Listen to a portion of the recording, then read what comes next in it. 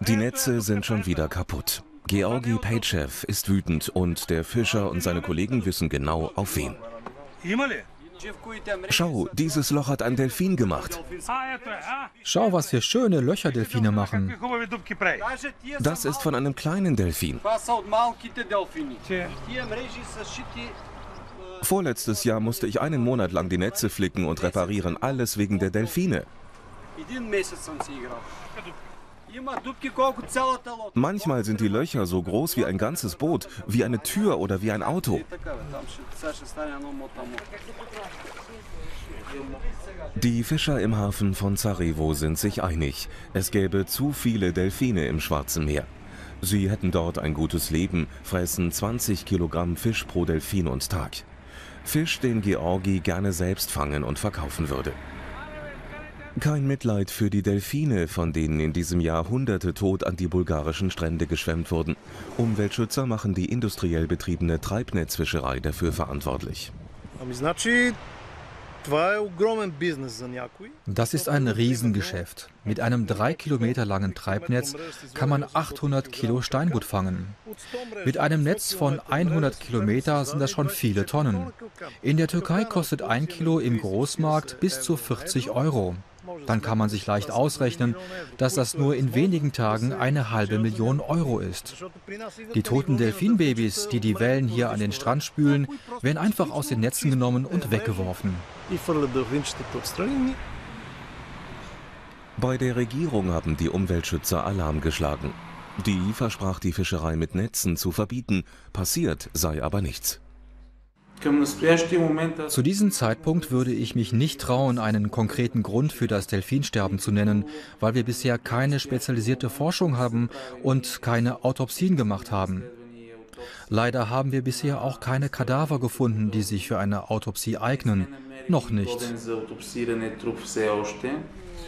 Der rumänische Biologe Roesvan Popescu ist extra nach Bulgarien gereist, um die Umweltaktivisten zu unterstützen, auf eigene Initiative.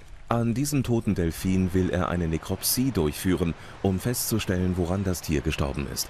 Er muss improvisieren, denn hier in Bulgarien gibt es weder Spezialisten noch entsprechende Labore.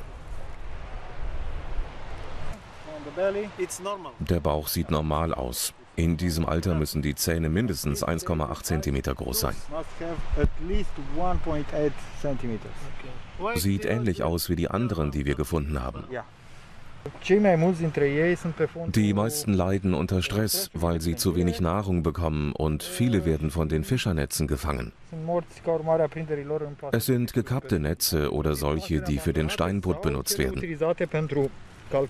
Es handelt sich auch um illegale Fischerei, die viel stärker bekämpft werden sollte. Viele Delfine verenden in den Treibnetzen der Fischer und Fischwilderer. Gefährlich sind die sogenannten Geisternetze, gekappte Treibnetze, die nun unter der Wasseroberfläche im Schwarzen Meer schwimmen. Sie sollen mittlerweile eine Gesamtlänge von 1000 Kilometern haben. Die Fischer weisen sämtliche Verantwortung von sich.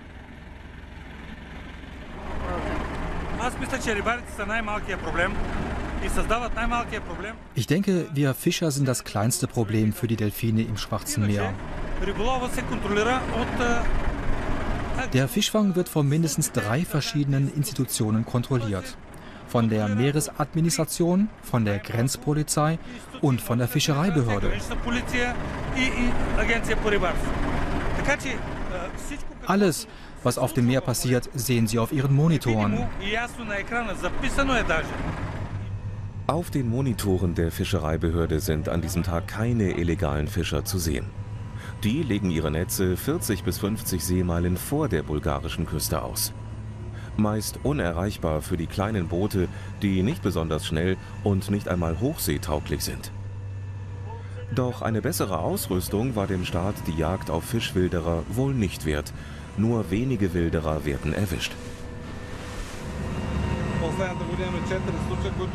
Im vergangenen Jahr gab es vier Fälle. Wir haben sie zur Staatsanwaltschaft weitergeleitet. Einige Prozesse laufen noch.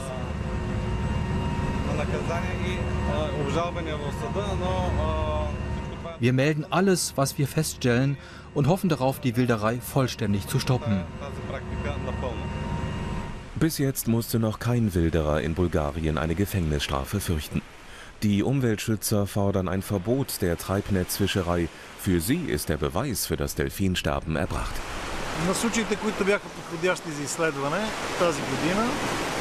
Bei den Delfinen, die in diesem Jahr für eine Untersuchung geeignet waren, haben wir festgestellt, dass sie ertrunken sind.